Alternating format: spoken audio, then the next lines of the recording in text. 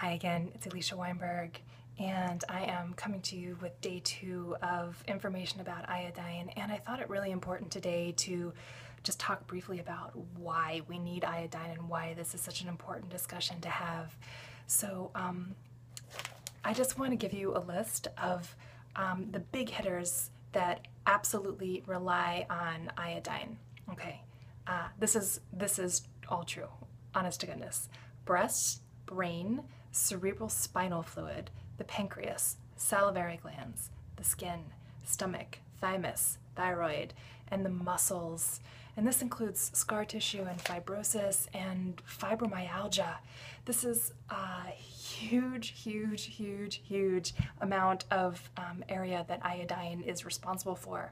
And when we are deficient in it, all of these things kind of go to pot in different ways this is not what I'm going to talk about today. I just want to let you know why it's so important that we have this discussion. And um, this is a very short video today because I'm sorry I don't have a lot of time. But what I wanted to do is debunk one thing and then introduce the superstar heroine um, gender neutral superhero for um, that's going to save us all from this dilemma. The first thing I want to say is that if you think you're getting iodine in your table salt, I want you to know you're not. Um, there are so many reasons why this isn't true. One, it's unstable in salt, and when you open the package of your Morton salt, um, within two months, almost all of the iodine is gone. Uh, just negligible amounts remain. But more importantly, in order for them to do that, they bleach the salt, which means that they take out all of the micronutrients. So you'd be better off pitching that, or better yet, saving it and uh, salting down the streets or whatever when it's icy out. Um, and instead going and getting some Himalayan or some Celtic sea salt that is full of unbelievable things. And one of the blog posts a little bit later we'll be talking about all of the reasons why we should be eating um, salt because I think that's another sort of thing that's been misconstrued through um, media. I don't know, doctors, whoever. Anyway, this is why it's vigilante medicine. Um, but the the other thing that I wanted to just start uh, talking about so you can start doing some research on your own is the hero of the story, our iodine story, the savior, whatever you want to call it, is seaweed.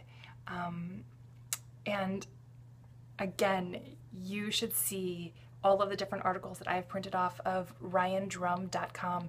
This is a man in the San Juans who is wildcrafting uh, seaweeds, and I had no idea how many different types there were, uh, and all of their different properties. I am, I am so intrigued. I mean, super intrigued. Um, I recommend checking his site out right this moment, ryandrum.com.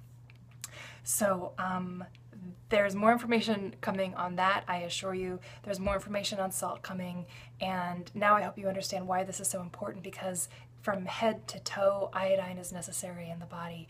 And as a last note, I want to just say before you start, um, you know, taking gobs and gobs and gobs of seaweed. And by the way, according to Ryan, eating three to five grams of most dried, unrinsed seaweeds provides um, the R- RDA equivalent of 100 to 150 micrograms of um, iodine. So go seaweed, brown, unrinsed.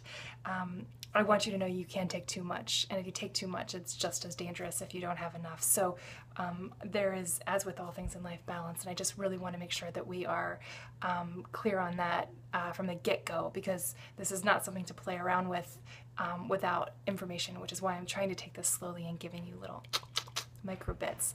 So this is Alicia. I'm still fired up. I'm really excited to keep bringing you this information, and um, good health to you.